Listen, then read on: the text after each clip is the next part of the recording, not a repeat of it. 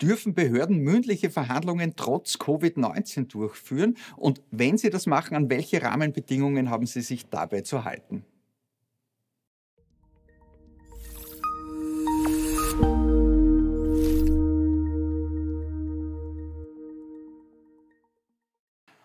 Hallo und herzlich willkommen. Mein Name ist Martin Niederhuber von der Umweltrechtskanzlei Niederhuber und Partner mit Sitz in Wien und Salzburg. Und zu der eingangs gestellten Frage hat der Gesetzgeber ein eigenes Gesetz erlassen, das verwaltungsrechtliche Covid-19-Gesetz heißt das. Und dieses Gesetz sagt, ja, das ist zulässig. Die Behörden dürfen mündliche Verhandlungen durchführen und wenig überraschend, man muss dabei einen Meter Abstand halten und man muss einen Mund-Nasenschutz dabei tragen. Da ist vielleicht schon ein spannender Aspekt dabei. Dieser Mund-Nasenschutz, der steht im Gesetz drinnen. Das heißt, das gilt mal, auch wenn der Gesundheitsminister für andere Bereiche sozusagen Lockerungsverordnungen erlässt.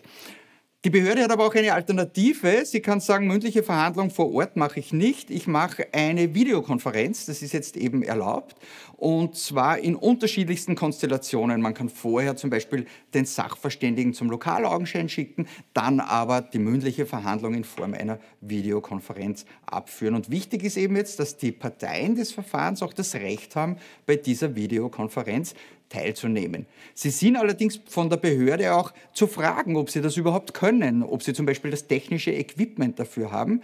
Und hier ist ein relativ wichtiger Punkt, wenn die Parteien das nicht können, dann hindert das die mündliche Verhandlung nicht. Die Behörde kann die Verhandlung dennoch durchführen, muss dann aber später den Parteien die Möglichkeit geben, sich zum Verhandlungsergebnis noch entsprechend zu äußern.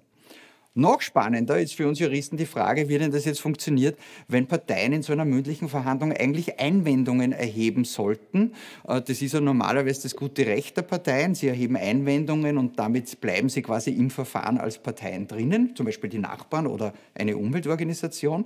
Und da sagt das Gesetz, naja, entweder ihr könnt eh an dieser Videokonferenz teilnehmen, dann könnt ihr das ja dort machen. Wenn euch das nicht möglich ist, dann könnt ihr bei der Behörde das Begehren stellen, binnen drei Tagen nach der mündlichen Verhandlung dieses Begehren stellen, äh, dass ihr dann eben nachträglich Einwendungen erheben möchtet. Dann ist die Behörde verpflichtet, dass sie der Partei die Verhandlungsschrift äh, schickt und ihr die Möglichkeit gibt, binnen angemessener Frist eine nachträgliche Einwendung einzubringen. Die gute Botschaft ist also, mündliche Verhandlungen sind möglich, Videokonferenzen sind möglich und die Praxis zeigt, das wird von den Behörden auch bereits durchgeführt.